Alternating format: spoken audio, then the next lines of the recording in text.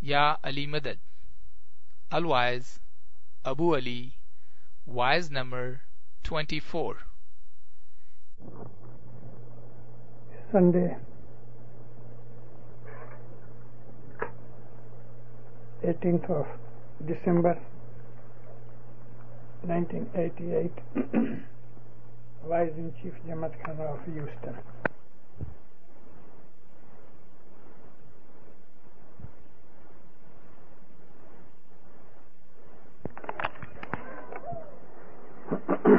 जी मदद।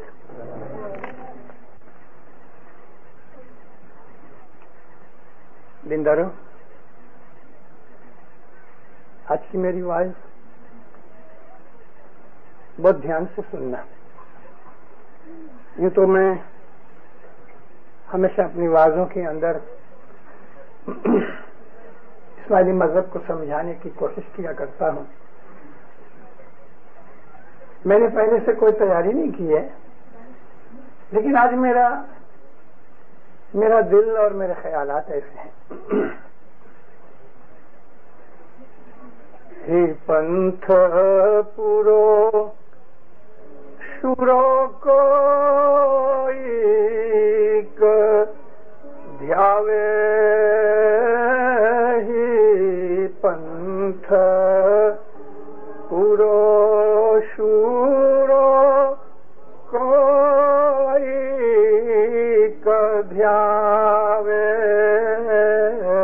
नबी मोहम्मद जो वे कहावे। साचो इलम फिर शमश भणावे भरम मत भूलो भाई। नमी चालो मरणा। शफायत रसूल की शफायत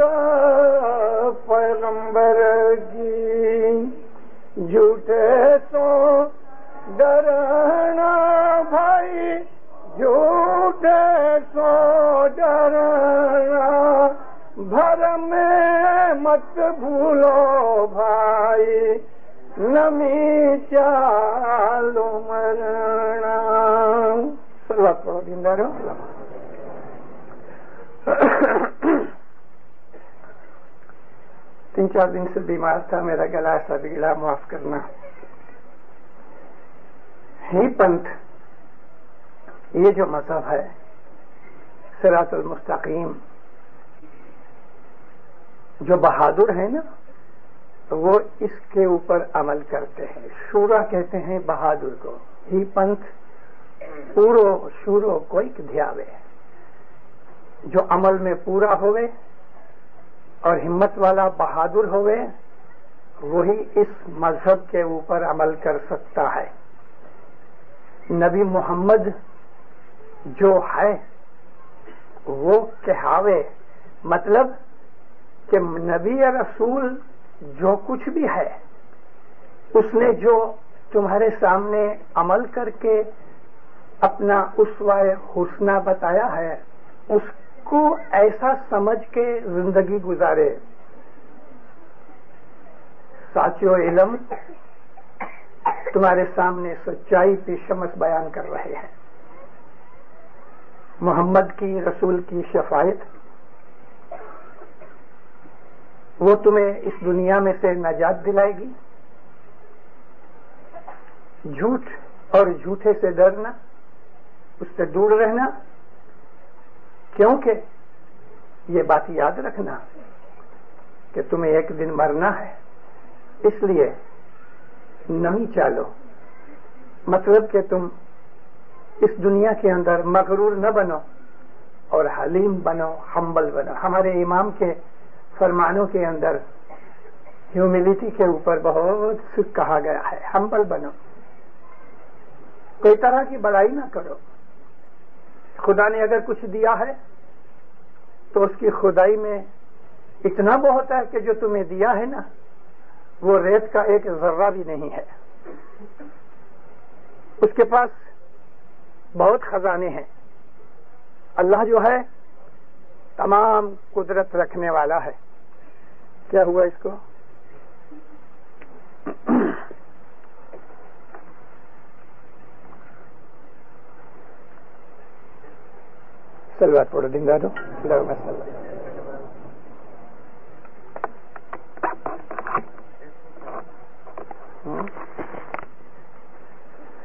मौला के पे सलवार पढ़ो तो मैं आपसे अर्ज़ कर रहा था कि ईशमस ने ये जो गिनान फरमाया उसका तर्जुमा यह था क्योंकि शमस ने ऐसा फरमाया कि ये मज़हब बड़े बहादुर हैं, उन्हीं के लिए है। क्योंकि जो कच्चे हैं, कमज़ोर हैं, ये मज़हब उनके लिए नहीं है। ये उनके लिए नहीं है। जिनके दिल डामाडोल हैं, जिनमें हिम्मत नहीं, ये वो मज़हब है जो नबी पालते थे। एक लाख चौबीस हज़ार नबियों का जो दीन था, ये वही दीन है जो आज उस परवरदिगार की रहमत से हमें मिला है। ये वही दीन है कि जो दीन कुरान शरीफ के अंदर सिखाया गया है। ये वही दीन है कि जो मोहम्मद रसूलुल्लाह ने हमें सिखाया है। ये वही दीन है, दीनदारों, कि जिस पे फरिश्ते अमल करते हैं। भला इस दीन का एसेंस क्या है?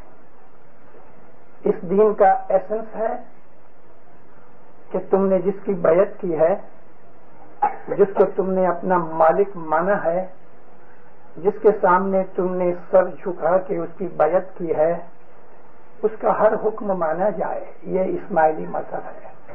और इस्लाम इसी का नाम है। अल्लाह यह फरमाता है कि अति उल्लाह व अति रसूल हाजा सिरातुल मुस्तकीम। सिरातुल मुस्तकीम क्या है? अल्लाह की ताबेदारी और रसूल की ताबेदारी। अल्लाह की ताबेदारी हमको कैसे पता लगे? थोड़ी हमको वही उतरी है। कि अल्लाह ताला हमको ये फरमावे, वही तो मोहम्मद के ऊपर उतरी। और मोहम्मद ने हमें भी बताया कि अल्लाह ने ये कहा तो सबसे पहले हमारा ईमान मोहम्मद पर है। अगर हमने मोहम्मद को नहीं माना तो अल्लाह को भी नहीं माना। महज अल्लाह को मान लेने से दीन इस्लाम पूरा नहीं होता। मोहम्मद के बगैर इस्लाम है ही नहीं। मोहम्मद के बगैर इबादत है ही नहीं। मोहम्मद के बगैर इतायत है ही नहीं। ले दे के सब कुछ सेंटर, मरकज जो है वो मोहम्मद है। अरे दीनदारो, ऐसी ऐसी बारीकियाँ कुरान पाक में अल्लाह ने फरमाई हैं।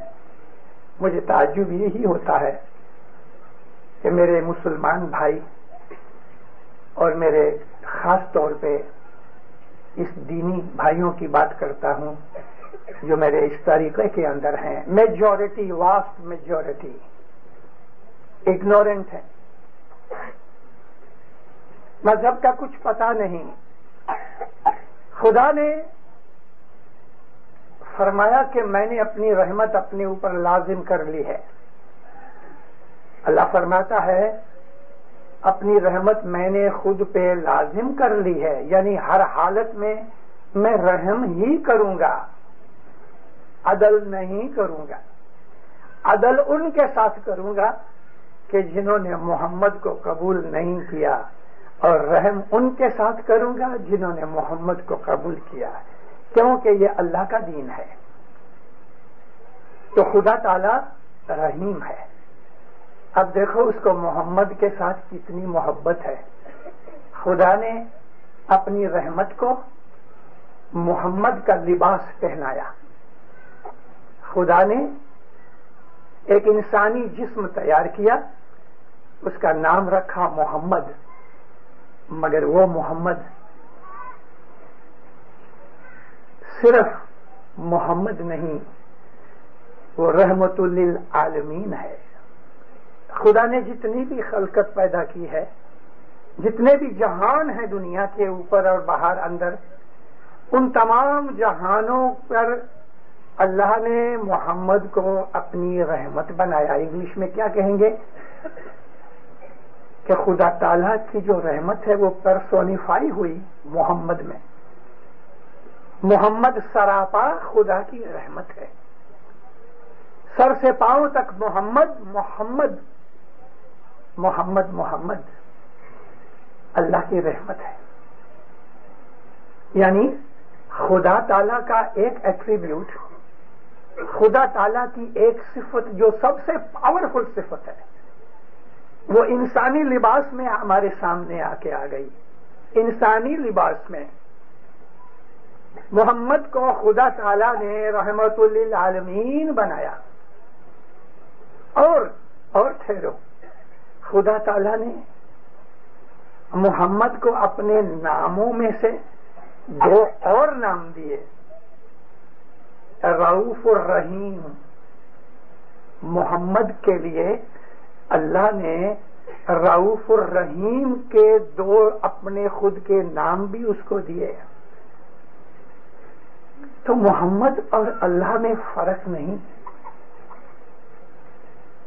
मगर मैं उस मोहम्मद की बात नहीं करता कि जो दुनिया के अंदर जिस्मानी तौर के ऊपर आके बूढ़े होके गुजर गए। वो बदन के बात नहीं है। बात उस मोहम्मद की है कि जो नबी है। और नबूवत की वजह से उसको खुदा ताला ने हमारे लिए रहमत बना के भेजा ताकि हमारे ऊपर ये रहम किया जाए कि हम खुदा की शनाख्त और मारिफत समझ सके। अगर मोहम्मद नहीं तो दीन है ही नहीं। मोहम्मद नहीं तो इबादत नहीं। अरे, जिस नमाज़ में मोहम्मद का नाम नहीं लिया जाता, वो नमाज़ है ही नहीं।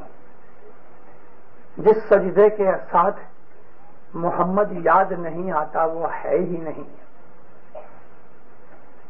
ज़िंदगी के अंदर तिरसठ बरस की ज़िंदगी में नबी करीम ने जो उसवा हुसना, अपनी आदतें और अपने तरीके, अपनी ट्रीटमेंट, अपना बिहेवियर हमारे सामने जो रखा, वो हमारे लिए एक मॉडल है। और अल्लाह ने यही कहा है कि तुम मोहम्मद की आदतों में से सीखो। मोहम्मद सर से पाँव तक खुदा की रहमत है, इसलिए मोहम्मद पाक है। मोहम्मद का नाम पाक है। मोहम्मद के नाम से पाकी मिलती है। मोहम्मद के नाम से ईमान बढ़ता है। मोहम्मद के नाम से अल्लाह की शनाखत होती है। मोहम्मद हर जमाने के अंदर मौजूद रहे। हर नबी का जो नूर था, वो मोहम्मद ही का नूर था। और अगर फरिश्ते भी हैं तो मोहम्मद की वजह से। अगर ये ज़मीन के ऊपर इंसान है तो मोहम्मद की वजह से। सूरज चमकता है तो मोहम्मद की वजह से। चाँद की रोशनी, मोहम्मद की वजह से। ये ज़मीन के ऊपर ये फल और फ्रूट जो कुछ भी हमें नज़र आता है, मोहम्मद की वजह से है। जितने भी जानवर हैं, मोहम्मद की वजह से है। समुन्द्र में मौजें आती हैं, मोहम्मद की वजह से। हवा चलती है तो मोहम्मद की वजह से। अर्श ज़मीन तक जो कुछ भी है, वो मोहम्मद की वजह से है। और ये भी याद रखो कि खालिक मोहम्मद है। मोहम्मद खालिक है। रसूल अकरम फरमाते हैं। खुदा ने सबसे पहले अपने नूर में से मेरे नूर को जुदा किया। अना मिन नूरी। खुदा ताला नूरी से खुदा ताला के नूर की तरफ़ इशारा किया है। अना मिन नूर अल्लाह। व कुल्लो हम मिन नूरी। जो कुछ भी है, मेरे नूर से है। मैं खुदा के नूर से हूँ और मेरे नूर से हर चीज़ बनी। यानी जो खुदा ने खलकत की तो मोहम्मद के नूर से की। खुद खुदा ने खलकत नहीं की।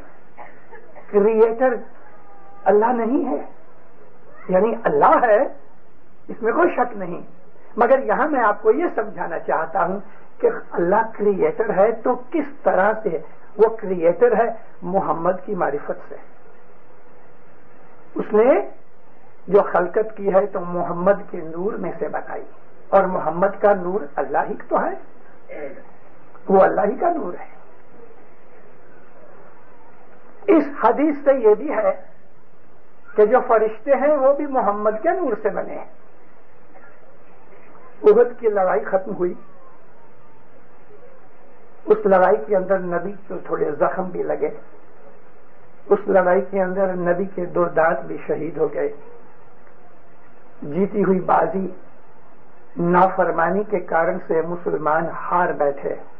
उहद की लड़ाई पहले जीत ली थी, लेकिन अल्लाह के रसूल की नाफरमानी करने से ये जीती हुई बाजी हार बैठे। लालच में पड़ गए, दुश्मन ने पीछे से आके हमला कर दिया। मुसलमानों के परखे उड़ा दिए। इस लड़ाई में नबी के ऊपर जाती हमले किए गए लेकिन मौला अली की जुल्फिकार ने उन तमाम का खात्मा कर दिया। अकेले मौला अली लड़ते रहे और चारों तरफ़ से लड़ते रहे। उर्द की लड़ाई के वाकयात शिया किताबों में पढ़ो तो आपके रोंगटे खड़े हो जाएँगे और, और खुशी से नाचने लगोगे कि अली की तलवार किस तरह चलती रही। काफरों का खात्मा कर दिया। उस वक्त जिब्रील अमीन नाजिल हुए। अरज की या नबी, आज अली ने वो बहादुरी दिखाई है कि अर्श के ऊपर फरिश्ते भी इसकी तारीफ़ कर रहे हैं। रसूल अकरम फरमाते हैं, क्यों नहीं? अली मेरे में से है, मैं अली में से हूँ। जिब्रील अमीन कहते हैं कि मैं आप दोनों में से हूँ। आपको ये हदीस बुखारी में नहीं मिलेगी? कि मुस्लिम में नहीं मिलेगी?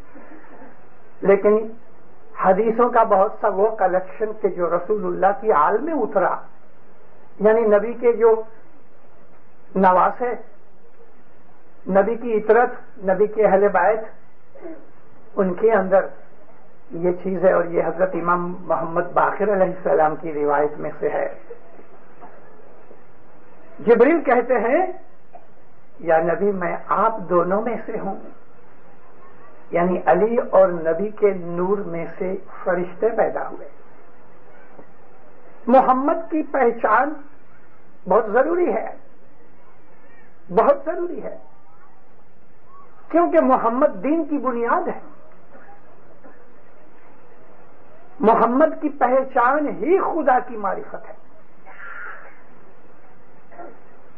वो चीज़ें कि जो आमतौर पे मोहम्मद के नाम के साथ लगाई जाती हैं, उनमें बहुत सी चीज़ें, बड़ी बहुत सी चीज़ें ऐसी हैं कि जो हमको शर्म पैदा करें। मोहम्मद ने वो चीज़ें नहीं कही कि जिससे हमें शर्म आवे, जिससे हमें बेवकूफ़ी की बू आवे। बात ऐसी हदीसें हैं कि जो इस जमात खाने जैसी पाक जगह में मैं बयान भी नहीं कर सकता। रसूल अकरम के जिसके लिए हम ये कहते हैं कि रहमतुल्लिल आलमीन है? वो रसूल के जिसके नूर से खुदा ने तमाम खलकत पैदा की वो रसूल ऐसी बात कहेगा कि जिसके अंदर हमें बेइल्मी या बेवकूफ़ी का कुछ मज़ाक नज़र आवे? अस्तफरुल्ला वो कभी नहीं कहेंगे। नबी करीम की हदीसों में एक हदीस बयान की जाती है कि हज़रत अबू हुरैरा ने नबी को पूछा, या नबी, ये सूरज शाम को कहाँ चले जाता है? हुजूर ने फरमाया कि खुदा के अरश के पीछे जाके छुप जाता है। और सारी रात खुदा से दुआ माँगता रहता है कि मैं निकलूं, इजाज़त माँगता है।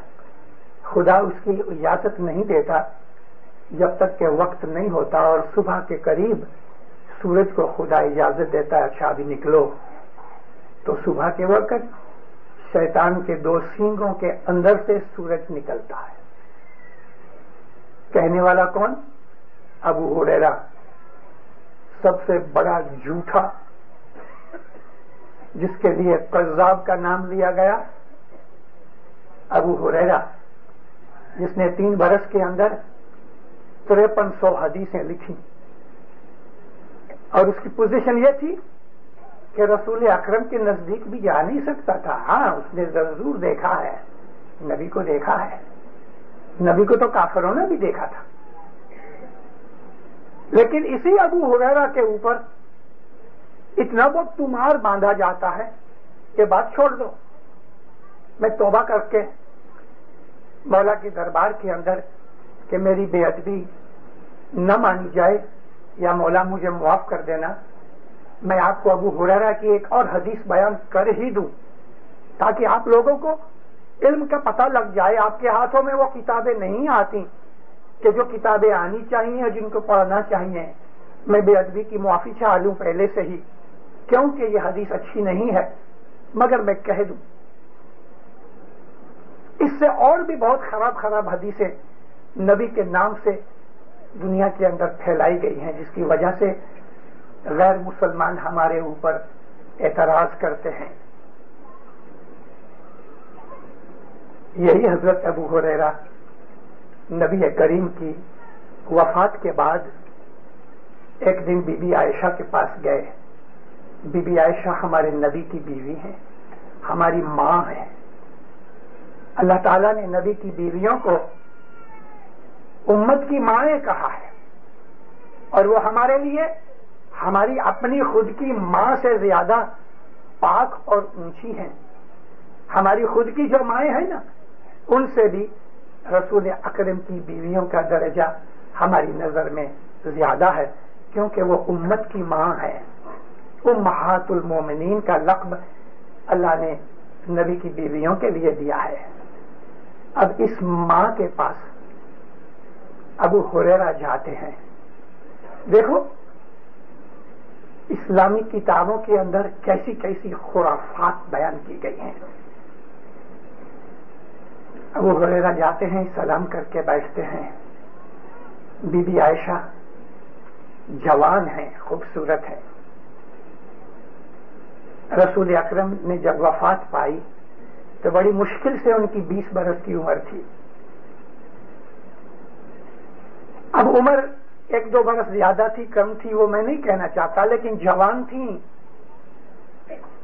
और रसूल की तमाम बीवियों में जैनब और बीबी आयशा सबसे खूबसूरत थी। मैं आपको इसलिए बयान कर रहा हूँ, इसमें से बहुत सी चीज़ें समझने जैसी हैं। हज़रत अबू हुरैरा कहते हैं, माँ, या उम्मुल मोमिनीन, मोमनों की माँ, मैं आपके पास एक मसले के लिए आया हूँ। जो मुझे परेशान कर रहा है। बीबी आयशा फरमाती हैं, क्या मसला है अबू हुरेरा? अर्ज़ की कि या उमुल मोमिनीन मैं गुस्ल जनाबत के मसले को पूछने आया हूँ। मैं इसका खुलासा नहीं करता। जो समझते हैं वो क्या है, वो जानते हैं। गुस्ल जनाबत के मसले के वो पूछने आया हूँ। कभी भी आयशा ने फ़ौरन एक पर्दा खींचा, रूम के अंदर और दूसरी तरफ़ पानी मंगवा के इस पाक बीबी ने गुस्ल किया। देखो, बुखारी जैसे आलम ने भी और मुस्लिम जैसे, आबू मुस्लिम जैसे आलम ने भी इस हदीस को बयान किया है। हमारा इस्माइली तरीका जो है, वो दूसरों से क्यों जुदा है, उसकी बुनियादी चीज़ें आपको बयान कर रहा हूँ। क्योंकि आप में बहुत से लोग हैं जो हिंदुस्तान, पाकिस्तान से आए हैं, और आपके दिमागों के ऊपर शरीयत इस तरह से चढ़ी हुई है कि जिस तरह किसी सिर के ऊपर टोपी पड़ी होती है। अपने मज़हब को समझने की कोशिश करो कि यह तरीका पाक और पाकिजा तरीका दूसरों को नसीब नहीं।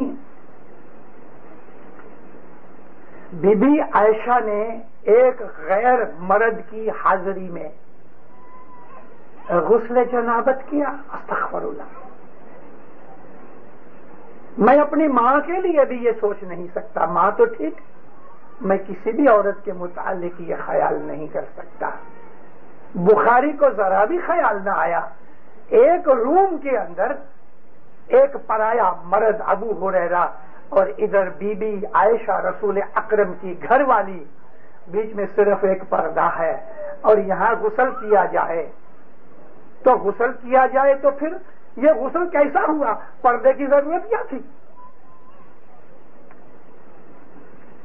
पर्दे की ज़रूरत पूछने ही आया कि गुसल जनाबत किस तरह किया जाए? अब बीबी आयशा उसको नहा के बता रही हैं। तो फिर पर्दे की ज़रूरत क्या? और अगर पर्दा है तो अबू हुरैरा को पता कैसे लगा कि बीबी आयशा किस तरह नहाई? कैसी गंदी बातें हैं ये? मैंने पहले से तौबा मांग ली है मौला के हुजूर में लेकिन दिन दारा मैंने आपके सामने इसलिए ये बातें की आपको मालूम होना चाहिए कि ऐसे बहुत से लोग हैं हमारी जमात के अंदर कि जो शरीयत शरीयत पुकार रहे हैं। जो मुसलमानों के साथ मिलना चाहते हैं। हम सच्चे मुसलमान हैं, अल्हम्दुलिल्लाह। वो इस्लाम, वो दीन कि जो नबी मोहम्मद सल्लल्लाहु अलैहि वसल्लम रहमतुल आलमीन लेके आए, वो दीन आपको जमात खाने में मिलेगा, मस्जिद में नहीं। अलबत् मस्जिद में खुदा की इबादत होती है।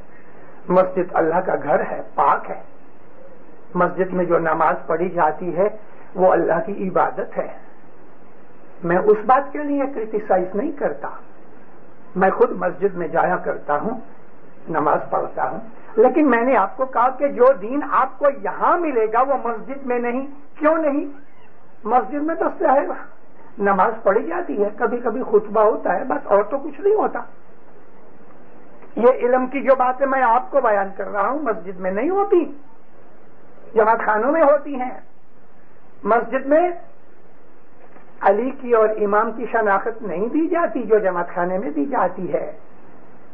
जो दीन इस्लाम का एक बेसिक प्रिंसिपल है। मस्जिद अल्लाह का घर है, पाक जगह है, और मस्जिद में जाके इबादत होनी चाहिए। मगर मैं आपको ये बयान कर रहा हूँ कि हमारे पास और हमारे वो भाई कि जो हमें ये ताना मेना देते हैं कि तुम इस्माइली मुसलमान नहीं हो। मैं आपको तफावत बयान करना रहा हूँ कि हकीकत क्या है। ये चीज़ कि अबू हुरेरा बीबी आयशा के पास जाके गुस्ल जनाबत के लिए पूछे, हम तो ख्याल भी नहीं कर सकते। ये तालीम के सूरज शैतान के दो सींगों में से निकलता है। आजकल के बच्चे यूनिवर्सिटी में और स्कूलों में पढ़ते हैं, फिजिक्स पढ़ते हैं। वो तो सुन के हंसेंगे, वही शैतान के कौन से सींगों में से सूरज निकलता है?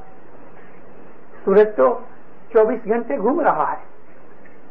वो कहीं भी छुप के बैठा नहीं। नबी को बूझो, नबी को जानो और नबी की सच्चाई कहाँ से मिलेगी? नबी के घर वालों से मिलेगी। नबी के घर वालों में से। और नबी के घर वाले कौन हैं? अली हैं, हसन हैं, हुसैन हैं जैनुलाबुद्दीन हैं, मोहम्मद बाकिर हैं, शाह करीम सलवातुल्ला अलह हैं। जिनके पास नबी की विरासत है, उनके पास से नबी की बातें मिलती हैं। उनमें से पता लगता है। रसूल ने तो और बहुत कुछ कहा है। आज जो कुछ भी बाजारों की किताबों के अंदर रसूलुल्लाह के नाम की हदीसें मिलती हैं, उन हदीसों में ऐसी ऐसी बातें हैं, ऐसी ऐसी बातें हैं कि जमात खाना तो ठीक है। कभी पाँच आदमी महफिल में बैठे हों, सिर्फ़ मर्द हो ना तो भी मैं ये ऐसी हदीसें उनको भी बयान न करूँ। मैं पढ़ के लाल पीला हो गया। मुझे पसीना आ गया कि ये बातें हदीसों में हैं। इनके ऊपर दारो मुदार बनाया गया है। इसलिए श्री शमस ने कहा कि ये जो पंथ है, इसको पूरी तरह कोई बहादुर ही पालता है। इसमें कुर्बानियाँ हैं। इसके अंदर सेक्रीफाइस है। दीन के ऊपर अमल करना आसान नहीं। ये दीन नहीं है कि सिर्फ़ हम अल्लाह अल्लाह पुकारते रहें। मोहम्मद का कलमा भी पढ़ लिया और दुनिया के गुनाह भी करते रहे। दीन तो इंसान को बदल देता है। अल्हम्दुलिल्लाह। दीन इस्लाम के अंदर, मुसलमानों के अंदर, शियों और गैर शियों में यानी गैर शिया तो बहुत ज़्यादा है, कसरत है उनकी।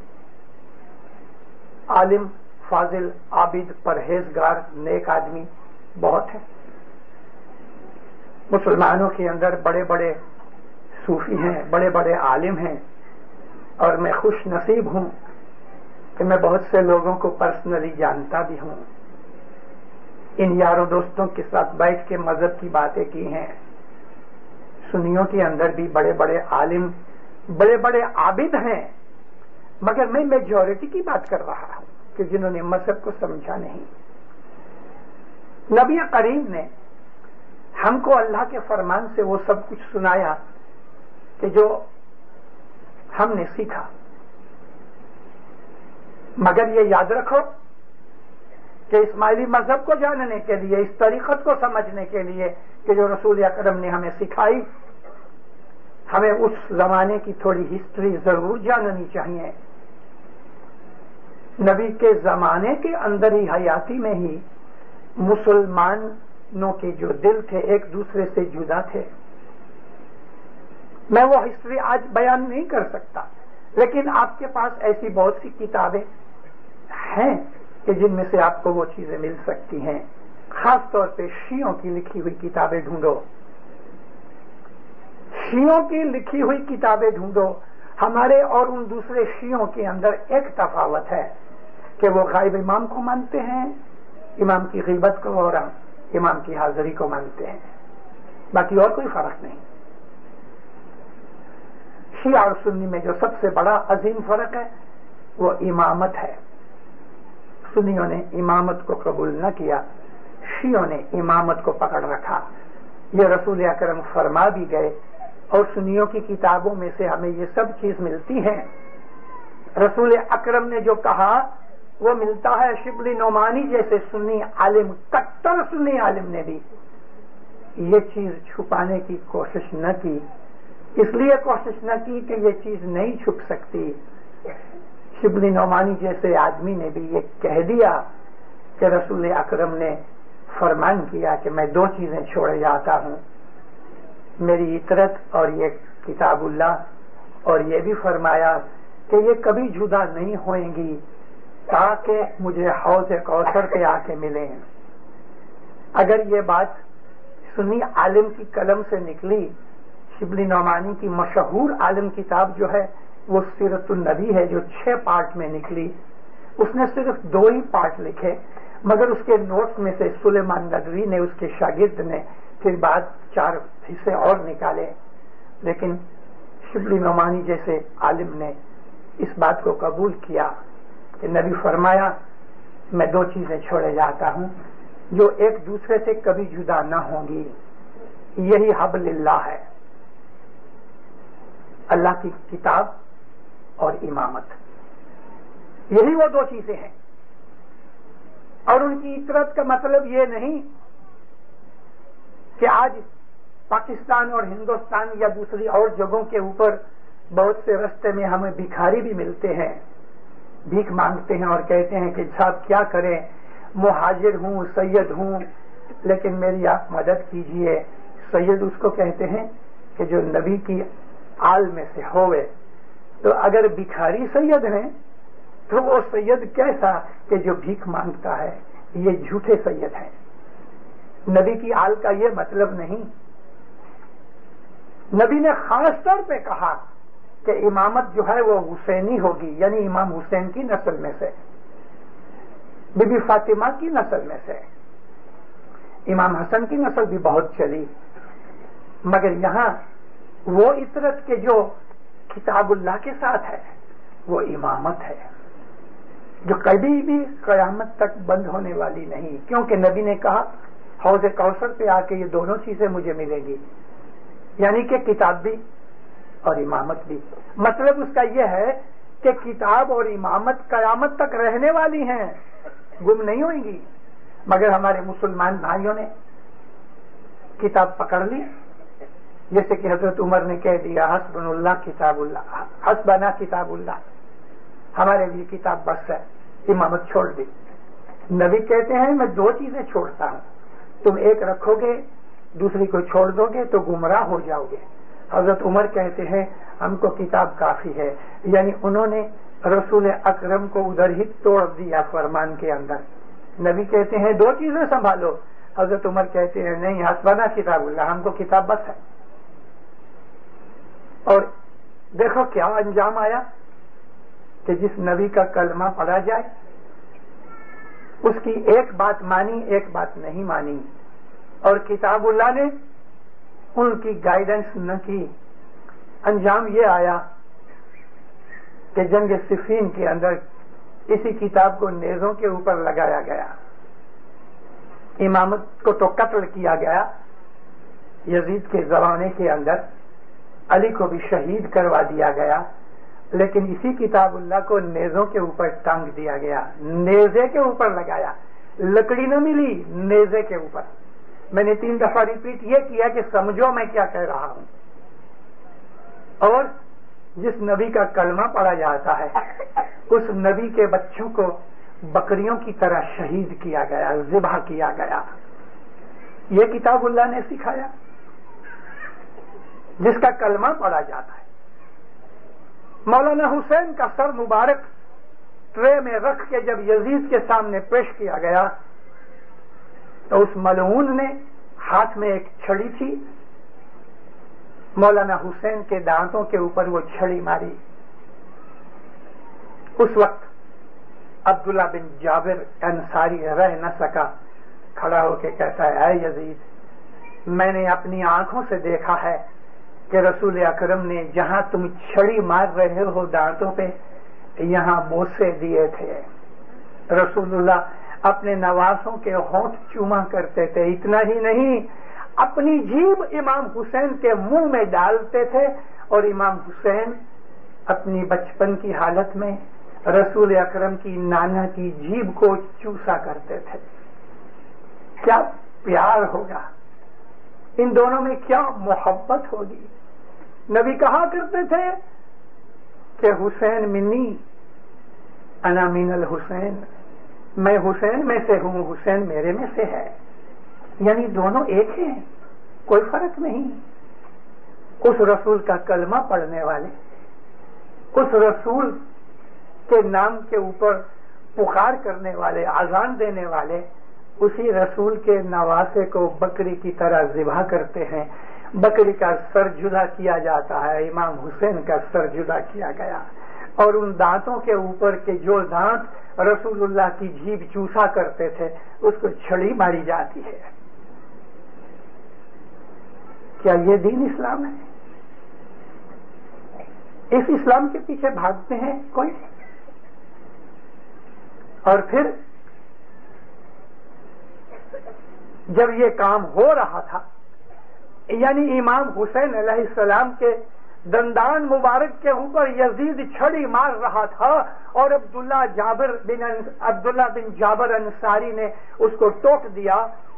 उसी वक्त आजान हुई और यजीद उठ के मस्जिद में गया नमाज़ पढ़ने के लिए। दो मिनट पहले नबी के नवासे की बेअदबी कर रहा है, छड़ियाँ मार रहा है और अब भाग के गया है नमाज़ पढ़ने के लिए।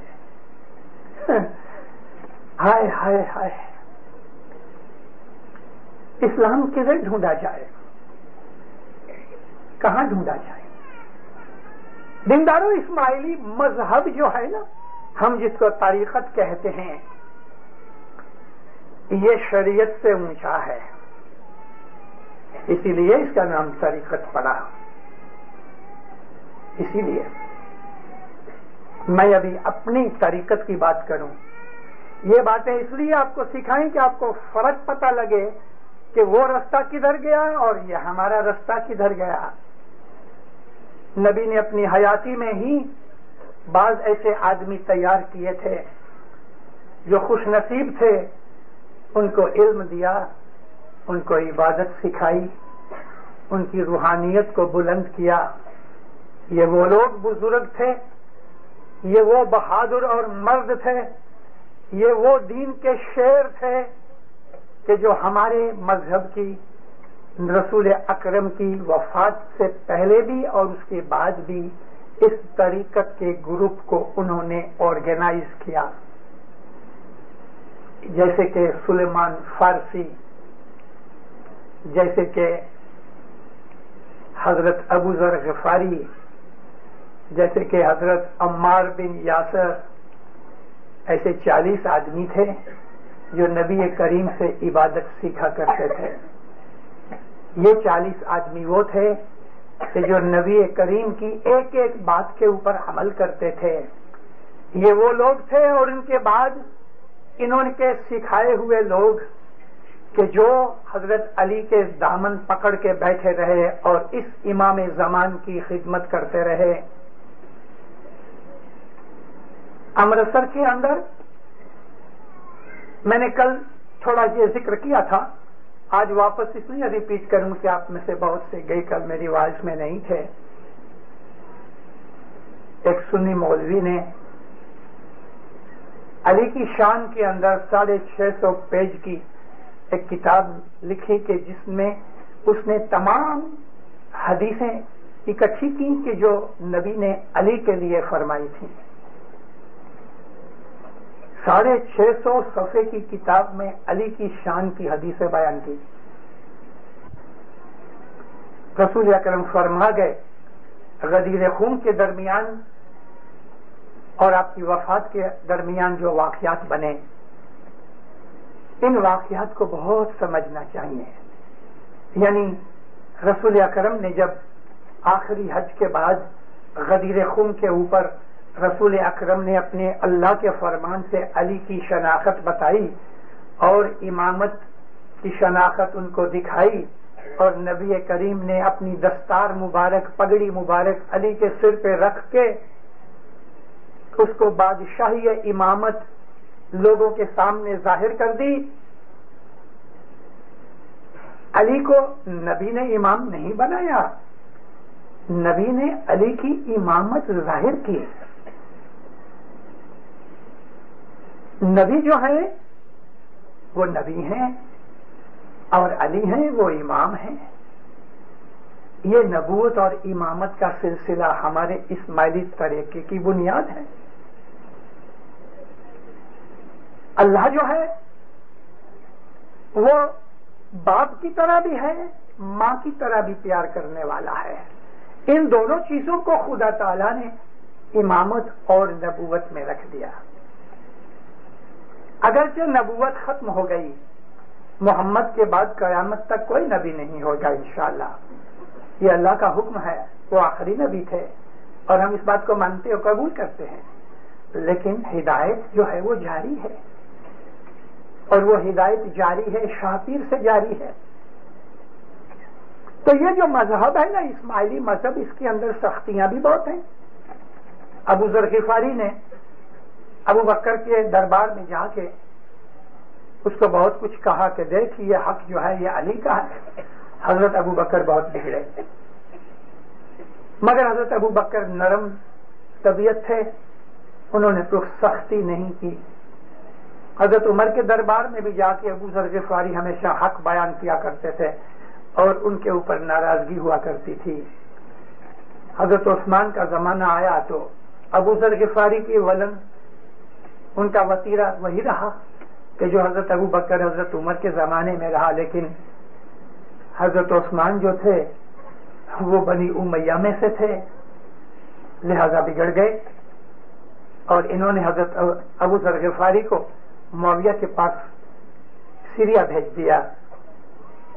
क्योंकि मुआविया हज़रत उमर के जमाने से सीरिया के अंदर रहते थे। हज़रत उमर ने उनको सीरिया का गवर्नर बनाया था। और भेजा किस तरह?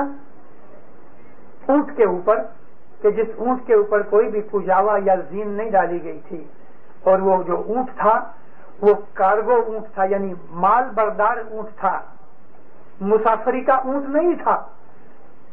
और क्या हुआ कि आपके दोनों जानू का गोश्त गिरता रहा गिरता रहा।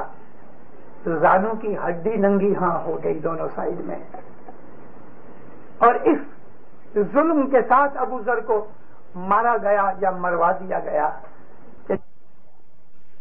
रसूल अकरम के बड़े प्यारे, बहुत ही प्यारे सुहाबी थे।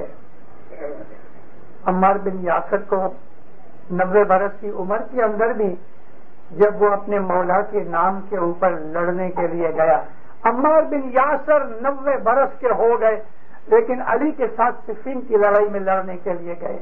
मौला ने कहा भी अम्मार, अभी तुम बूढ़े हो गए हो कहते या अली, मुझे उस हदीस को पूरा करना है। कि जो रसूलुल्लाह ने फरमाई थी कि वो ग्रुप, वो ग्रोह कि जो ना हक पर होगा, जुल्म पर होगा, उनके हाथों से अम्मार बिन यासर की मौत होगी। और अम्मार बिन यासर जंग सिफीन में माविया के लश्कर के हाथों मारे गए। तो वो हदीस पूरी हो गई कि वो अय अम्मार, तुमको वो ग्रोह कत्ल करेगा कि जो नाहक पर होगा और मुआविया का लश्कर नाहक पर था। आप ये चीज़ें पढ़ो ताकि आपको दीन का पता लगे कि किस तरह से हमारे वडवाओं ने, हमारे बुज़ुर्गों ने इस दीन के लिए जाने दी, अपनी औलादें कुर्बान की। रसूल अकरम के जमाने से लेके हर जमाने के इमाम की, इमामत के दरमियान इस्माइलियों ने इस धनी के लिए, इस मालिक और हमारे माशूक के लिए, क्योंकि हम जितना प्यार मौला को करते हैं, इतना प्यार हम किसी को नहीं करते। इसीलिए मेरे मुँह से लफ्ज निकल गए कि ये नूरानी माशूक हमारा, इसके लिए जो कुर्बानियाँ की गई हैं, वो हिस्ट्री के अंदर बयान है। हम अपने मौला को जितना चाहते हैं, इतना ही। बल्कि इससे भी ज़्यादा अली को वो लोग रसूलुल्लाह के जमाने में चाहते थे। अली और नबी दोनों को चाहते थे। क्योंकि नबी ने ही इनकी मोहब्बत सिखाई गई। नबी ने ही यह कहा था कि अली के पीछे चलो, यही हक है। अली अली अली अली रहा। अली इमाम है। और नबी करीम ने हमको उसकी शनाखत बताई। मेजोरिटी ने अली को कबूल न किया। क्योंकि अली का जो घर है, वो सिंपल सादा घर है। अली जौ की रोटी खाते हैं। उनके पास दुनियावी मालो दौलत होने पर भी सादा ज़िंदगी गुजारते हैं। अली ने अपने भाई को अब्दुल्ला इब्न अब्बास उनका सगा भाई नहीं था, चचेरा भाई था। हज़रत अब्बास का लड़का था। अब्दुल्ला बिन अब्बास बहुत आलिम शख्स थे। लेकिन उसने जक़ात का माल खाया और अली ने उसको बुला भेजा। वो समझ गया कि अली मेरे को छोड़ने वाला नहीं है, भाई हुआ तो क्या हुआ? भाग के मुआविया के पास चला गया, उसकी गोद में बैठ गया। अरे, अली के रिश्तेदार भी, अली की इंसाफी और सख्ती के ऊपर डरते थे। अब्दुल्ला बिन अब्बास भाग के मुआविया के पास चला गया। हज़रत अकील नबी के सगे भाई थे। माजूदी थी। बाप एक था।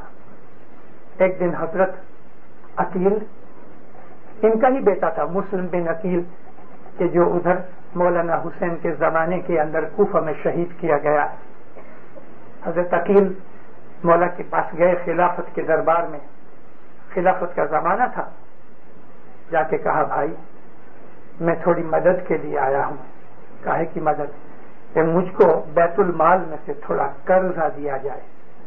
मौलाली फरमाते हैं, तुम ये चाहते हो कि मैं तुम्हारी खातिर आग में हाथ जलाऊं? यानी बैतुल माल मैं अपने भाई को दूँ? कहते मैं तो खाली कर्ज माँगता हूँ। फरमाया ये महाजन का काम है, यहूदियों के पास जाओ, कर्जा ले लो। बैतुल माल में से कर्जा नहीं मिलता। और हज़रत अकील गुस्से होके चले गए। मैंने इसलिए आपको ये बात सुनाई कि मज़हब सख्ती की चीज़ है। मज़हब में बड़ी सख्तियाँ हैं। शुक्र अल्हम्दुलिल्लाह के आज के जमाने के अंदर हमारे इमाम ने रहम करके हमारे ऊपर वो सख्तियाँ नहीं होने दी कि जो पहले जमाने में होती थी। मौला ने फरमाया, एक जगह सुल्तान मोहम्मद शाह सल्ला का फरमान है कि वो जमाना था कि दीन की खातिर गर्दन कटवा जाते थे, इस तरह जैसे कि पगड़ी उतर गई। यानी मौत को इस तरह कबूल कर लेते थे कि यानी पगड़ी उतार के रखी। मतलब कि मौत से डरते नहीं थे, बल्कि मौत उनसे डर डर के भागा करती थी। इस्माइलियों ने ऐसी बहादुरियाँ दिखाई हुई हैं। अपने मज़हब के लिए, अपने इमाम के लिए इस्माइलियों ने बड़ी कुर्बानियाँ की हुई हैं। अब तक इतनी कुर्बानियाँ नहीं, लेकिन याद रखो दीनदारों, आज मैं आपको एक इशारा करता हूँ। फ्यूचर में हमें कुर्बानियाँ करने की ज़रूरत पड़ेगी। लाजिम नहीं कि हम हमारी गर्दनें कटे, ये नहीं। ये नहीं। कुर्बानियों का यह मतलब यह कि बाद सख्तियों में से गुजरना पड़ेगा। आज भी आज भी घरों की टीवी है शनिचरवार की मौज शौक है, सिनेमा वगैरह है, यार दोस्त हैं, पार्टीबाजी है, और हम उधर चले जाते हैं और जमात खाने नहीं आते, मगर जो जमात खाने आते हैं, हकीकतन वो कुर्बानी करते हैं। वो कुर्बानी करते हैं। वो दुनिया की ऐश मौज को छोड़ के जमात खाने आके अपने महबूब के सामने, सर झुका के अपने गुनाहों की मुआफी चाहते और इबादत करते हैं। ये वो सूरे पूरे हैं। ये वो मर्द और बहादुर हैं कि जिन्होंने दुनिया की दरकार न की और दीन बजाने के लिए चले आए। इसी तरह से हमारी सुबह की इबादत जो है दीनदारों, वो तो बहुत बड़ी बहादुरी का काम है।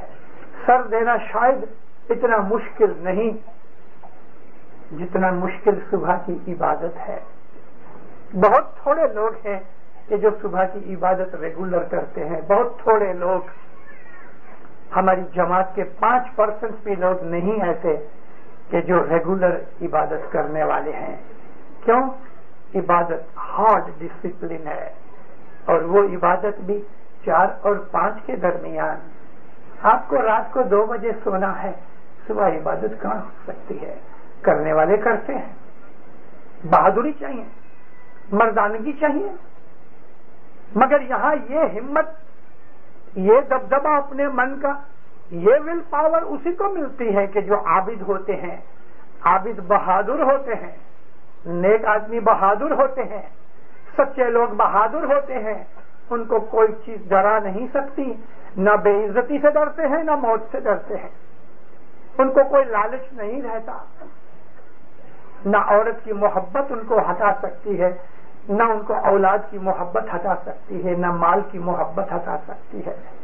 वो बहादुर हैं कि जो इबादत करते हैं। हमारा मज़हब उनके साथ है। इस्माइली मज़हब जो है, हर जमाने के अंदर रहा। इस्माइली मज़हब हर जमाने में रहेगा।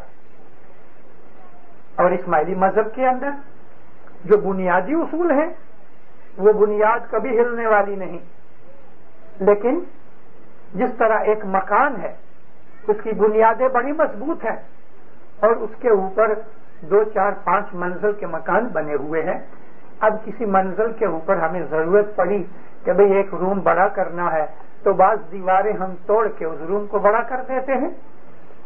बाज रूम ऐसा बड़ा होता है तो उसके अंदर दीवार खींच के उसको हम छोटा बना देते हैं, दो बना देते हैं। तो ये जो ऊपर के मंजिलों के अंदर हम थोड़ा फ़र्क फेर कर देते हैं, उससे बुनियाद का कोई ताल्लुक नहीं। बुनियाद तो अपनी जगह मज़बूत है। मैंने आपको ये मिसाल इसलिए दी है कि जमाने के हिसाब से हमारे इमामों ने बहुत से ऐसे फरमान भी किए हैं कि जो जमाने के हिसाब से बदले गए। पहले इमामों के जमाने में और था। हर जमाने के इमाम के अंदर फरमानों में कुछ तब्दीलियाँ जमाने के हिसाब से होती हैं। और आज भी कभी हजर इमाम को ज़रूरत पड़ी तो इमाम हुक्म करे तो बात चेंजेस भी हो सकते हैं, लेकिन बुनियाद नहीं। बुनियाद अटल है। बुनियाद में फ़र्क कभी नहीं आएगा।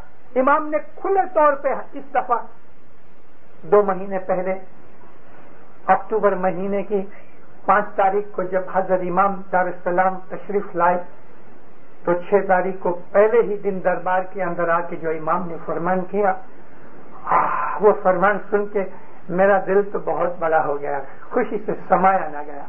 इमाम ने रिपीट करके कहा कि मेरा जो बुनियादी उसूलात है मेरे मज़हब के, मेरे तरीके के, वो कभी बदलने वाले नहीं। मैं बिल्कुल कॉम्प्रोमाइज नहीं करूँगा।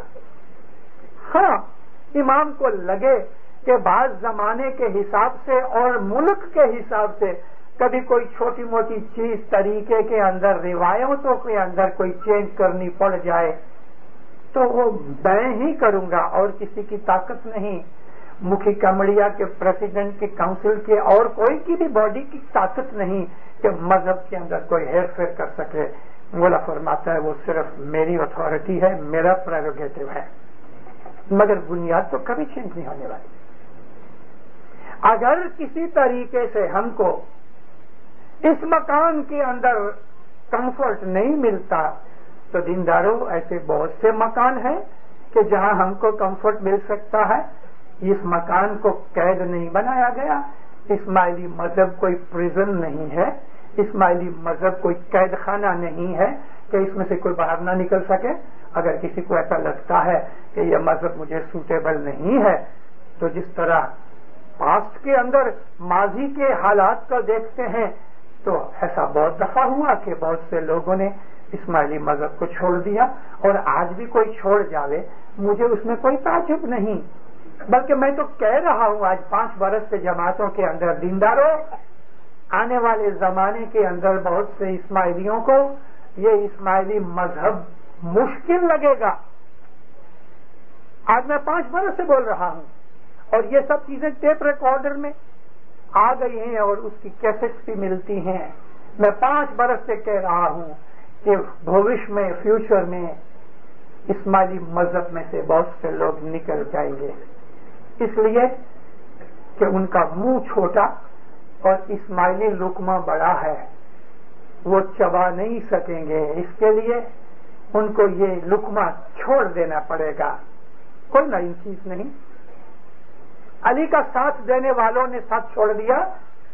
जंग सिफीन के अंदर अली को ही मानने वाले बैत करने वाले अली के दुश्मन हो गए, सामने लड़ने लग गए। खारजी कौन थे? अली की बैत करने वाले थे। जंग सिफीन के अंदर अली को ज़ोर लगा के कहा गया कि अभी लड़ाई बंद करो, नहीं तो हम तुमको कत्ल करेंगे। अरे अली की तरफ़ से लड़ने वाले, अली की बैत करके, अली के लश्कर में मुआविया से लड़ाई करने वाले, अली को कह रहे हैं कि लड़ाई बंद करो, नहीं तो हम तुमको कत्ल करेंगे। अगर आज भी कोई इस्माइली मज़हब में से ऐसा निकल आवे कि वो अली का दुश्मन हो जावे, यानी हज़रत इमाम हज़रत शाह करीम अली ही तो है कि इसकी बजत करके कभी आज इसको भी कह देवे कि नहीं, ये बात बराबर नहीं है तो क्या कोई नई चीज़ है? अली के जमाने में नहीं हुआ? हुसैन के जमाने में नहीं हुआ?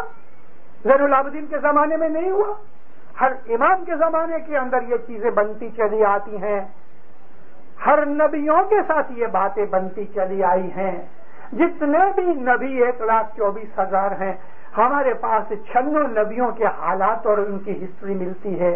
बाकी नबियों की नहीं मिलती।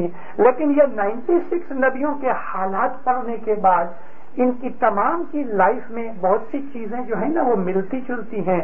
और इस पे से हमें मालूम होता है कि ज़रूर हर नबी के सामने ये तमाम प्रॉब्लम तकलीफें आई थी कि उनके ही सगे उनके ही मुरीद, उनके दुश्मन बन गए। इमामों के साथ भी यही बनता रहा। और आज हाजिर इमाम के साथ भी कभी ये बन जाए तो कहीं नहीं ये चीज़ नहीं। उन्नीस सौ सन के अंदर बंबई में से जो लोग बार भाइये निकल गए, बार भाइये तो हसन अली माँ बाप के जमाने में से थे, लेकिन 1900 के अंदर भी खोजों की लगभग साढ़े तीन सौ फैमिलीज़ साढ़े तीन सौ फैमिलीज़ नहीं सॉरी साढ़े तीन सौ आदमी सौ से कम फैमिलियाँ थी। उन्होंने हजर इमाम की बैत तोड़ डाली उनमें से बहुत से ऐसे थे कि जिनके बाप दादा बड़े बड़े मोमन थे और मज़हब के खादिम थे। और इन्होंने 1900 सन के अंदर बंबई के अंदर और 1901 में अफ्रीका के अंदर इस्माइली मज़हब को छोड़ के इसनाशरी बन गए। हमें उससे कोई ताजुब नहीं हुआ। उनके साथ हमारी कोई दुश्मनी नहीं। उन्होंने बैत करके तोड़ दी और फिर गए। अली की बैत करके तोड़ दी गई, फिर गए। और सबसे पहले अली की बैत करने वाले हज़रत उमर थे। गदीर खुम के अंदर सबसे पहले हज़रत उमर ने अली की बैत की और कहा कि, या अली, तू मेरा और कुल मोमिन का और मोमिनात का मौला है। अली की बैत करके हज़रत उमर ही सबसे पहले बैत की और यही हज़रत उमर थे कि जिन्होंने सबसे पहले अली की बैत तोड़ डाली। रसूल अकरम सल्लल्लाहु अलैहि वसल्लम ने जब वफात पाई तो फ़ौरन उठ के भाग के इन्होंने खिलाफत अपने हाथ में ले ली, जो अली का हक था। अली की बैत करके अली का सामना किया। अली की बैत करके अली को मारने के लिए सिफीन में तैयार हुए। अली की बैत करके खारजियों ने अली के साथ लड़ाई भी की। और तीस हज़ार आदमी बाद किताबों के अंदर नौ हज़ार लिखे हुए हैं। अली को मारना पड़ा। सिर्फ़ नौ आदमी बचे जो भाग के बहरीन में जाके छुप गए। आज बहरीन में उनकी औलाद है, जिनको खारजी कहा जाता है। जमाने के हिसाब से इमाम बहुत सी तब्दीलियाँ करते हैं। अरे दीनदारो, जो लोग मज़हब नहीं समझते, जिनके दिलों के अंदर निफाक होता है, उनकी आँखें अंदर की अंधी होती हैं। रसूल अकरम ने हिजरी सन सात में ऐलान किया, मैं हज करने के लिए जाता हूँ। कौन आता है मेरे साथ? दस हज़ार आदमी साथ हुए। दस हज़ार। ये सन सात की बात है, हिजरी सन सात। रसूल अकरम मदीने से निकले हज करने के लिए। मक्का के करीब पहुँचे। तीन मील मक्का जब बाकी रह गया तो नबी ने फरमाया पड़ाव डालो। चलो भाई, तंबू लगाए गए, नीचे उतरे। दूसरे दिन नबी ने एक आदमी को भेजा कि जाओ, जाके मक्का वालों को कहो कि हम हज की नियत से आए हैं, लड़ाई की नियत से नहीं। ये जब भेजा गया तो सबसे पहले फरमान उमर, हज़रत उमर को किया। कि जाओ है उमर इब्न खत्ताब मक्का में जाके उनको कहो कि हम हज की नियत से आते हैं। कहने लगा, या नबी, मेरे बहुत दुश्मन उधर है, मैं नहीं जाता किसी और को भेजो। ये नाफरमानी मज़हब में जायज़ नहीं। सामने मौत भी नज़र आती हो तो भी जनरल का हुक्म कोई भी सोल्जर टालता नहीं है। लेकिन हज़रत उमर ने टाल दिया। दूसरों को भी कहा गया, आखिर एक आदमी को भेजा गया। और उन्होंने इसको कहा कि देखो, मैं हम जानते हैं कि तुम लोग हथियार के बगैर आए हो हज की नियत से आए हो, लेकिन इस दफ़ा वापस चले जाओ, दूसरे दिन, दूसरे बरस आना। मुहादा हुआ जिसको अहदनामा रिजवान कहा गया, और इसी रिजवान दरख्त के नीचे नबी ने इनकी बैत भी ली, जिसको बैत रिजवान भी कहते हैं, और नबी हज किए बगैर वापस आ गए। नबी, जो अगम निगम की खबर जानता है, जो कुछ कहता ही नहीं सिवा खुदा के हुक्म से। नबी हमको पहले कहता है, चलो हज के लिए। और हज किए बगैर वापस आ गए। मेजोरिटी मुसलमानों का ईमान डावाडोल हो गया कि ये इस नबी को पता नहीं था कि हज नहीं होएगा। अगर ये रूहानी आदमी है तो इसने तो फिर हमारे लिए दगा फरेज कर दिया। कईयों ने बहुत सी बातें की। अल फारूक नाम की एक किताब है शिबली नौमानी की लिखी हुई। हज़रत उमर की लाइफ के ऊपर उसने उसकी दो वॉल्यूम्स लिखी हैं, अल फारूक। शिबली नौमानी कट्टर सुन्नी है। उसने रिपोर्ट की है कि खुद हज़रत उमर ने यह कहा कि मेरे को नबी की नबूवत के ऊपर शक पैदा हो गया कि जब नबी हज किए बगैर वापस लौट आए, अगर हज़रत उमर को नबी की नबूवत पे शक हो जाए तो आज ऐसे बहुत से लोग हैं कि जिनको आज की इस दुनिया की मोह, ममता, माया, गुनाह की लाइफ के अंदर इमामत के ऊपर कोई शक आ जाए तो कोई नई चीज़ है। ऐसा तो होता रहता। ऐसा तो दीनदारा होता रहता है। हर नबी, हर इमाम के जमाने के अंदर उन्हीं को मानने वाले उनके दुश्मन बनते हैं। इसलिए बनते हैं कि उनका ईमान कच्चा होता है। अगर आपको कभी ये पता लगे कि भाई किसी आदमी का ईमान खराब हो गया है तो दीनदारों, मैं खातरी से आपको कहता हूँ, समझ लो कि उस आदमी की दसबंद की खामी है। दसबंदी आदमी का ईमान कभी खराब नहीं होता। मगर दसवंद का मेरा मतलब सच्ची दसवंद है। ईमान को संभालने की सबसे बड़ी एक जो दवा है, वो दसवंद है। जिसकी दसवंद पक्की है, वो पक्का मर्द और बहादुर है। क्यों? कि ये जो माल की मोहब्बत जो है ना, उसको कमज़ोर करती है दसवंत दसवंत माल की मोहब्बत को वीक बनाती है और हजर ईमान की मोहब्बत को मज़बूत करती है। दुनिया की और भी बहुत सी बदियाँ हैं जो माल की वजह से पैदा होती हैं दसवंद उससे बचाती है। इस इस्माइली मज़हब का मज़ा चखना है दसवंदी बनो। दसवंद आपको बहुत सी चीज़ें देगी। एक छोटा सा बीज जिस तरह बड़ा दरख्त बन जाता है और उसको हज़ारों फल और लाखों पत्ते लगते हैं, बहुत बड़ा फैलावा हो जाता है। दसवंद इस बीज की तरह है। कि जिसके हज़ारों फल लगते हैं, लाखों पत्ते शेड देते हैं। ईमान की मजबूती के लिए one of the best things जो है वो दसवंद है। अपनी दसवंद बराबर रखो। ईमान की मोहब्बत मिलेगी, समझदारी मिलेगी, हकीकत मिलेगी, दीन दिल मज़बूत हो जाएगा। मैं कभी कभी वाजों के अंदर कहा करता हूँ कि इस्माइली मज़हब जो है ना, उसकी बुनियाद हजर इमाम की मोहब्बत और हजर इमाम की फरमान बरदारी है। अगर मौलाना हजर इमाम हमको ये हुक्म करे कि तुम जमात खाने के अंदर दुआ न पड़ा करो, उसकी जगह तुम ढोल बजाया करो तो खुदा की कसम हम ढोल बजाएँगे, हमारी इबादत ढोल बजाना होगी। इसीलिए इसीलिए मैं कहा करता हूँ वाजों में जमातों को कि हम तरीकत में हैं, शरीयत में नहीं। शरीयत अंधी है। शरीयत मोहब्बत को नहीं समझती। शरीयत हकीकत तक नहीं ले जाती। ये तरीकत है। शरीयत के अंदर ये बिल्कुल इजाज़त नहीं है कि तुम नमाज़ छोड़ दो। लेकिन अगर इमाम कहे कि नमाज़ न पढ़ो, दुआ न पढ़ो, तुम न्याज न पियो ढोल बजाओ और नाचा करो। खुदा की कसम, हम ऐसा ही करेंगे। क्योंकि हमारा मज़हब जो है ना, वो तरीकत का है। तरीकत के अंदर जो मुर्शिद कहे, वो सच्चा। किताब में जो लिखा है, वो नहीं। मुर्शिद के मुख मुबारक में से जो निकले, वो चीज़ सच्ची है। वही चीज़ सच्ची है।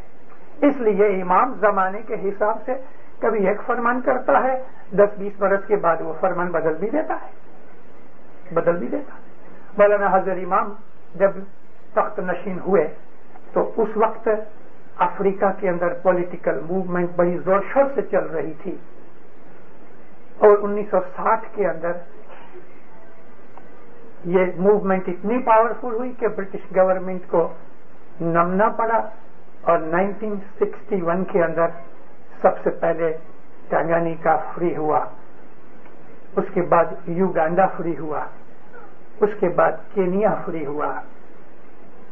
जब ये तीन कंट्री में एक आपको एग्जांपल दे रहा हूँ। जब अफ्रीका की ये तीन कंट्रीज़ फ्री हुई तो इमाम ने टांगानिका के अंदर, युगांडा के अंदर और केनिया के अंदर वक्त के हिसाब से जुदे जुदे फरमान किए। यानी जुजे जुदे वक्त के ऊपर बोला फरमाया कि तुम टांगानिका के सिटीजन बन जाओ युगांडा के सिटीजन बन जाओ केनिया के सिटीजन बन जाओ। जमात सिटीजन बन गई। सिटीजन बनने से सबसे बड़ा फ़ायदा यह हुआ कि ट्रेड करने का लाइसेंस मिलता था। अगर सिटीजन नहीं हो तो उसको ट्रेडिंग लाइसेंस नहीं मिले। दूसरा फ़ायदा यह हुआ कि बच्चों की तालीम मुफ़्त हो गई। और अगर तुम सिटीजन नहीं हो तो तुम फॉरेनर माने गए हो। उस हिसाब से तुम अपनी फ़ी दो बच्चों की। और इस किस्म के और बहुत सी चीज़ें जो सिटीजन बनने से मिली जमात खुश हो गई। इकसठ के अंदर फ्रीडम मिली, बासठ में जमात में तांगानिका की खाली बात कर दूँ, जो कि युगांडा और केनिया में भी ऐसा ही बना है। तो दारुसलाम की तांगानिका की सारी जमात ने जहाँ तक बन सका। मेजोरिटी ने, हंड्रेड परसेंट शायद नहीं, इन्होंने सिटीजनशिप ले ली तंजानिया की तांगानिका की। और सत्तर की साल में, इकहत्तर की साल जब ही मकान मिलकत वगैरह नेशनलाइज कर दी गई तो ये नेशनलाइजेशन सिटीजन्स की हुई नॉन सिटीजन्स की नहीं तो मेजोरिटी इस्माइलियों की मिलकत गवर्नमेंट ने नेशनलाइज कर दी। बहुत से लोग जिनके ईमान कमज़ोर थे, वो ढचू पचू हो गए, हिल गए, ज़िंदगी भर की कमाई कर कर कर, करके उन्होंने एक मकान बनाया गवर्नमेंट ले गई उसमें एक इस्माइली ने जोश में आ गया, बेवकूफ़ी में पागलपन में हाजिर इमाम की फ़ोटो ऐसा खींच के सॉरी फ़ोटो खींच के उसने बाहर फेंक दी।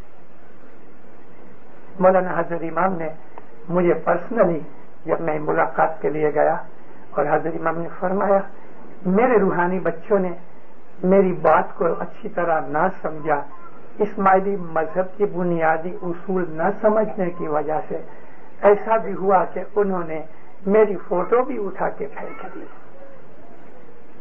क्यों? मज़हब न समझने की वजह से। हजर इमाम किसी वक्त हमको यह कहे, जैसा कि मैंने आपको कहा, कि दुआ न पढ़ो, ढोल बजाओ। तो दीनदारों, अपने दिल के अंदर जरा भी शक पैदा न करना, ढोल बजाना। हाफिज शिराजी जैसा एक आलिम बुज़ुर्ग, जिसको हज़ार बरस हो गए हैं इमाम सुल्तान मोहम्मद को बहुत याद करते थे। हाफिज शिराजी लिखता है कि अगर तेरा मुर्शिद ये कहे कि शराब में अपने मुसल्ले को भिगो के इस पे बैठ के नमाज़ पढ़ तो जरा भी शक न करना, जरा भी इनकार न करना, क्योंकि जो तेरा मुर्शिद जानता है तू नहीं जानता। शराब हराम है। मगर वो कहता है कि अगर तेरा मुर्शिद शराब में भिगोए हुए मुसल्ले पे बैठ के नमाज़ पढ़ने को कहे तो करो। यही प्रिंसिपल इस्माइली मज़हब का है। यही। अनस बिन मालिक, जो सुन्नियों के एक बहुत बड़े मशहूर रिपोर्टर हैं, अनस बिन मालिक से बहुत सी हदीसें रिपोर्ट की गई हैं बुखारी और मुस्लिम के अंदर। और ये अनस बिन मालिक वही था कि जिसने अली की बैत भी की थी और बाद में इसने इनकार कर दिया था। और अनस बिन मालिक को जब मौला अली ने मस्जिद के अंदर भरी सभा में पूछा कि, आए अनस, तू भी तो गदीर के अंदर था ना? तो कहने लगा, मुझको याद नहीं। फरमाया, आए अनस, अगर सच बोलते हो तो ठीक है, मगर झूठ बोलोगे तो अंधे हो जाओगे और वो दूसरे बरस अंधा हो गया। क्योंकि उसने झूठ बोला। अनस बिन मालिक दस बरस रसूलुल्लाह की खिदमत में रहा। आज हम ये पाँच साल, बारह साल और दूसरी बहुत सी मंडलियाँ बना रखी हैं। हमने तो मंडलियाँ बनाई हैं। मिल के बैठ के इबादत करें तस्बियाँ निकालें, शुक्रगुजारी करें। लेकिन थीम तो ये है कि हम अपने इमाम की मालिक की खिदमत करें। पाँच बरस करें, दो बरस करें, एक बरस करें, छह महीने करें। मगर हम मुफ़्त, यानी इमाम के पास से कुछ भी उसका इवज लिए बगैर हम जो खिदमत करते हैं, हम अपनी मोहब्बत और वफादारी का सबूत देते हैं। ये मुखी कमड़िया प्रेसिडेंट अमलदारी और ये वॉलंटियर्स और ये भाइयाँ काम करने वाले जितने भी सेवक हैं, दीनदारों, आप लोग इमाम की मोहब्बत ज़ाहिर करते हो, इमाम के घर की खिदमत करके। हमारा मज़हब तो ये है, इमाम की हम मुफ़्त खिदमत करते हैं, इतना ही नहीं, अरे ज़रूरत पड़ती तो हम खीसे में से खर्च भी करते हैं। वो और बात है कि इमाम जमान को ऐसे लोगों की भी ज़रूरत है कि जो 24 घंटे इमाम की खिदमत करें, लिहाजा वो दूसरा काम नहीं कर सकते। तो इमाम उनको तनख्वाहें देते हैं, बख्शिश के तौर पे वो भी खिदमत करते हैं, क्योंकि वो मौला से जो उनको तनख्वाह मिलती है, वो उनके काम का एवज नहीं, उनकी मेंटेनेंस के लिए मौला देते हैं, मगर उसका काम मौला खिदमत में रहता है। अनस बिन मालिक ने दस बरस रसूलुल्लाह की खिदमत की। तो एक दिन अनस बिन मालिक बाजू की कोठड़ी में नमाज़ पढ़ रहे थे। रसूल पाक को कुछ काम की दरपेश हुई तो आपने आवाज़ दी, अनस। मगर वो नमाज़ पढ़ता था, सुनी उसने आवाज़, मगर नमाज़ में आया नहीं। दोबारा हुसूर ने आवाज़ लगाई, अनस, नबी को मालूम है ये अंदर है, और इधर से ही रास्ता जाने वाला और कोई रास्ता भी नहीं दूसरी दफ़ा आवाज़ लगाई, फिर भी अनस आया नहीं। तीसरी दफ़ा रसूल अकरम ने ज़ोर के कहा, या इब्न मालिक, अरे मालिक के बेटे तो भी अनस नहीं आया। नबी को बड़ी हैरानी हुई। हुजूर उठे। उठ के जब झांका तो वो उस वक्त सलाम के बाद दुआ मांग रहा था। तो हुजूर कहते हैं, अनस, मैं तुमको बुलाता हूँ। आते क्यों नहीं? कहते, या नबी, मैं नमाज़ पढ़ता था। फरमाया किसने कहा तेरे को नमाज़ पढ़ने के लिए?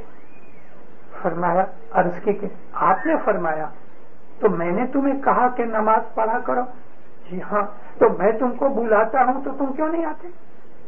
यानी मैं कहता हूँ, नमाज़ पढ़ो तो नमाज़ पढ़ते हो, और मैं बुलाता हूँ तो तुम आते नहीं।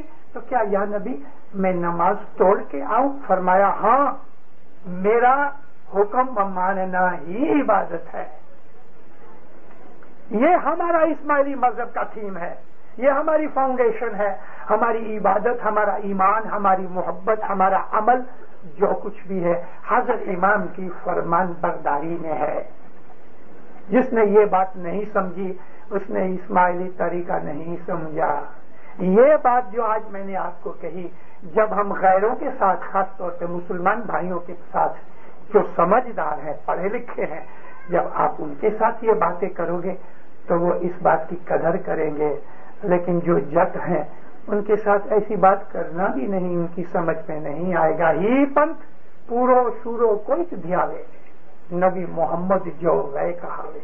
नबी मोहम्मद को देखो, वो जो था ना, इस तरह से वो आदमी कहावे। यानी उस नबी करीम के उस हुसना में से वो अमल करे। साचो इलम की शमस बनावे, तुमको सच्चाई की शमस दे रहे हैं। कि रसूल अकरम ने जो तुम्हें रास्ता बताया है, वो जो इमामत की शनाख्त नबी ने दी है, उसके ऊपर कायम रहो। इस्माइली मज़हब जो है हजर इमाम की ताबेदारी का ही नाम है। इस्माइली तरीका हजर इमाम की मोहब्बत ही का नाम है। हजर इमाम को राज़ी करना ही हमारी मजहबी ज़िंदगी का फ़र्ज़ है। और दीनदार उसमें सबसे बड़ी जो आला दर्जे की चीज़ है, वो दसवंद है। और दसवंद फिर हमको इबादत और नेकियों की तरफ़ ले जाती है। सुखियाबाद रहो। मौला, आपके दुश्मनों को दफ़ा दूर करे। आपकी बलाओं को दफ़ा दूर करे। आपकी मुश्किलों को आसान करे। आपकी नेक मुरादें कबूल करे। आपकी दुआओं में असर पैदा करे। आपकी जान माल में बरकत दे दे। औलाद में बरकत दे दे रोजी कमानी तंदुरुस्ती में बरकत दे दे आपका ईमान पहाड़ की तरह मज़बूत कर दे रहे मौलाना हजर इमाम दीनों दुनिया के अंदर हमेशा आपकी मदद करता रहे। आपको नूर से गाइड करता रहे। आप उस गाइडेंस के ऊपर फरमान बरदारी के साथ अमल करते रहो। दिनों दुनिया की तमाम मुश्किलें, मुसीबतें आपसे दूर रखे। दिनों दुनिया की तमाम खुशियाँ, बरकतें, नवाजिशें आपको दे। जहर वाकन दीदार नसीब करें।